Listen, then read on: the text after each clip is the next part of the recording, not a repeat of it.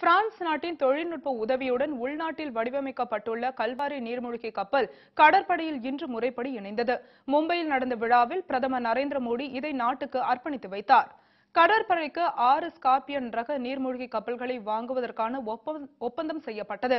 இதன்படி பிரான்ஸ் நாட்டின் டிசிஎன்எஸ் நிறுவனத்தின் தொழில்நுட்ப உதவியுடன் மும்பையை சேர்ந்த மசாகான் கப்பல் கட்டும் நிறுவனம் புதிய நீர்மூழ்கி கப்பலை உருவாக்கியது. முதல் நீர்மூழ்கி கப்பலின் கட்டுமானங்கள் முடிந்து மூன்று மாதங்களாக பல்வேறு சோதனைகளில் ஈடுபடுத்தப்பட்டது.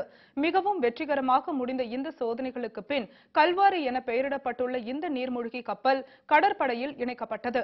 மும்பையில் நடந்த விழாவில் பிரதமர் நரேந்திர மோடி இதை நாட்டுக்கு அர்ப்பணித்து வைத்தார். விழாவில் பேசிய மோடி இந்தியா பிரான்ஸ் இடையிலான உறவு வேகமாக வளர்ந்து வருகிறது என்பதற்கு இது மிகச்சிறந்த உதாரணம் என்றார்.